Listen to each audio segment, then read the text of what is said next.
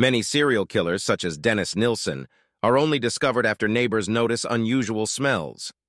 Canada's candidate for most savage psycho killer had a practical solution to the problem of multiple rotting bodies. Robert Pickton fed his victims to his pigs. He is charged with the murder of just six women, but is implicated in the deaths of at least 60. Robert William Willis Pickton was born in a suburb of Vancouver, Port Coquitlam, in British Columbia in 1949.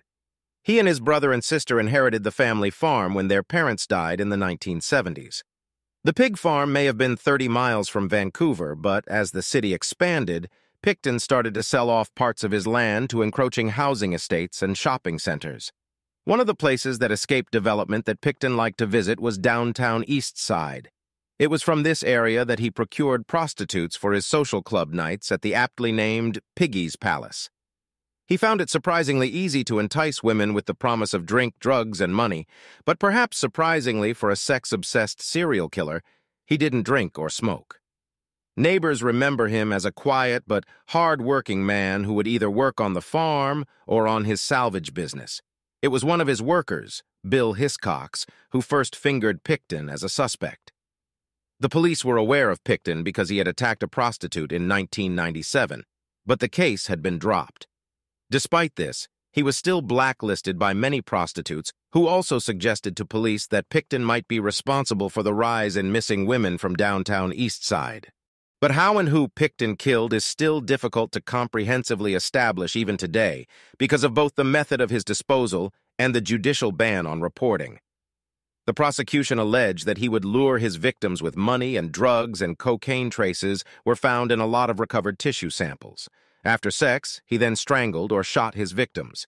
He would then feed their remains into his wood chipper and serve the remains to his pigs. One of the few first-hand witnesses to Pickton's work was Lynn Ellingson. She lived briefly in a trailer on Pickton's farm and said she walked in on a blood-covered Pickton as a Ms. Georgina Papin's body dangled from a chain in the farm's slaughterhouse. He disposed of Serena Abotsway's head, hands, and feet in a bucket which he placed in a freezer, where he also left bits of Andrea Joesbury's body, including her severed head. He disposed of other parts, such as the jawbones of Marnie Frey and Brenda Wolfe, and the head and hands of Mona Wilson in dustbins, manure, and pig pens. When Pickton slaughtered the pigs that had been fed on slaughtered humans, he would sell on the pork. Large numbers of women started disappearing off the streets of Vancouver in the 1980s, but they were mainly prostitutes, drug addicts, or Aboriginal women who operated in downtown East Side, Canada's poorest postcode.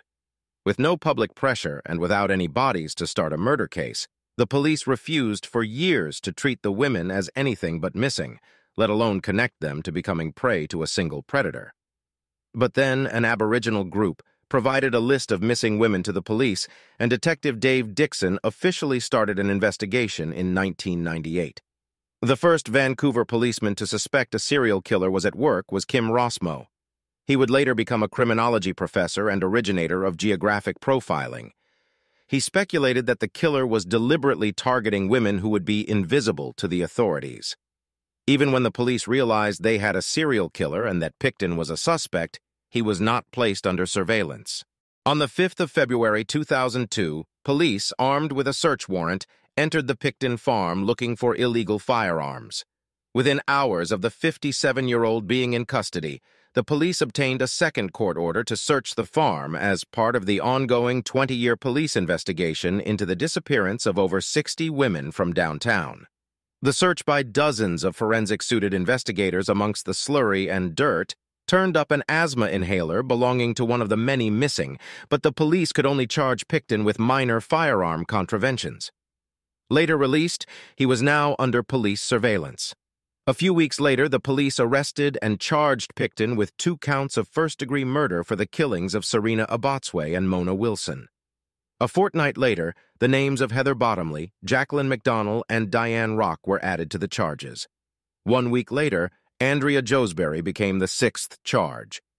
With the addition of Heather Chinnock, Tanya Holyk, Sherry Irving, and Inga Hall, the total murder charges reached 15, making Pickton Canada's biggest formally charged serial killer. By this stage, large conveyor belts were being used to shift through tons of soil, going as deep as 30 feet down for sifting and DNA analysis by over 100 forensic specialists.